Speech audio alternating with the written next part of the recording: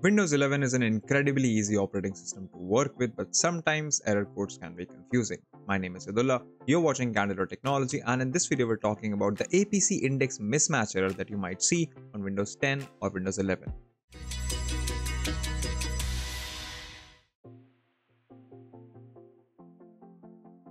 Well, the first thing that we need to do to fix this problem is to run an sfc check command. Now to do this, press the Windows key and search for command prompt once this shows up, go ahead and click on Run as Administrator.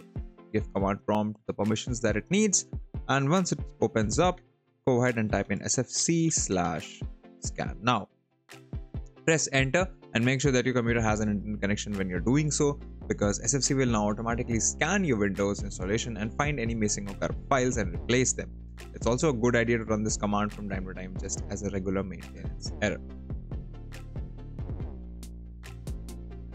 Alright, uh, once that is taken care of, we will move on to the next step, which is to disable a particular startup app. Now, if you right click the Windows button and head over to Task Manager, then head over to Startup Apps. Uh, in this list, you should see uh, something called the Realtek Audio Update Service or the Realtek HD uh, Audio Manager this particular app uh, takes care of your uh, audio uh, interfaces on the system but sometimes can cause problems uh, with the apc index mismatch error because it's a hardware issue and your speakers might not be playing well with it. So uh, just go ahead and uh, disable this service. You can just right click and then click on disable. And once it's disabled go ahead and restart your pc to check to see if the error has been fixed. If it has been the problem lies lies in your realtek drivers and you may need update them. Which leads us to the next fix, updating your device drivers. Now to do this, press Windows key plus X to open up the quick access menu again and head over to the device manager. In device manager, you will see a yellow exclamation mark in front of whatever device is causing the APC index mismatch error. Once you found the device, let's say the issue is in my speakers, Find them, uh, right click them and then click on update driver. Let Windows automatically search for drivers. So as you can see, I already have the best drivers installed for this particular device, but that might not be the case for you. So make sure you go ahead and you update all of your drivers. If that doesn't fix your problem, sometimes a faulty DNS cache can also cause the APC index mismatch error. I don't exactly know why this happens, but people have reported that using a custom DNS helped them solve the problem. So how do you do this? Well, we start off by pressing Windows key plus I to open up Windows settings and then we head over to network uh, internet. And here we're going to go all the way down to advanced network settings. And now we are going to click on hardware and connection properties. Uh, as you can see, this will show you an entire list of everything that uh, your internet connection uses. And uh, currently, uh, if I go to my Ethernet connection, which is the one that I'm using,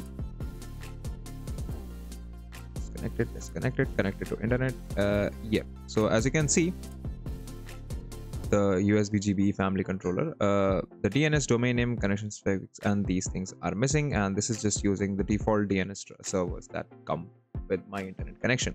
Now to fix this, uh, we will go back and find the internet connection that our uh, system is using currently. So as you can see, I have four options for internet, and this is the one that I'm using. I'm going to right click on this and then I'm going to click on uh, more adapter options. So I'll click the edit button right next to it. This will open up ethernet properties. So scroll down this menu until you see uh, internet protocol version 4 iptcpv4 and then click on properties. In here choose the use the following dns server addresses option. And now you can type in any dns server you want most people tend to use Google or Cloudflare. So if you're using Google, your DNS would be 8.8.8.8 and then 8.8.4.4. Once these settings are done, go ahead and click on OK, save your changes, uh, restart your internet connection, and uh, you should be good to go. If that doesn't help fix your problem, either you can try going ahead with a full network reset. Now to do this, just press the Windows key and search for network reset. First setting is the one that we need to deal with. So click on this and this will give you a network reset option. Uh, this will restart your system, uh, reset any network adapters, any Wi-Fi credentials or VPN client setup that you might have done will also be resetted. But this will get your internet connection restored back to the default state as was the case with your computer when you first opened it. So if there are any problems with your internet connection that might be causing this issue, this will definitely fix it. Last but not least, you can also fix uh, issues with Windows with Windows Update, as you might know. So press Windows key plus I to open up Windows settings and head over to Windows Update right here. Uh, as you can see, I'm already on the latest update, uh, but you can always go ahead and check for more updates manually just to make sure that you're on the latest version of Windows that's officially available for your particular installation and uh, you should be good to go. If you like this video, consider subscribing, give us a thumbs up, press the bell icon and tell us in the comments below what more such videos can we make for you.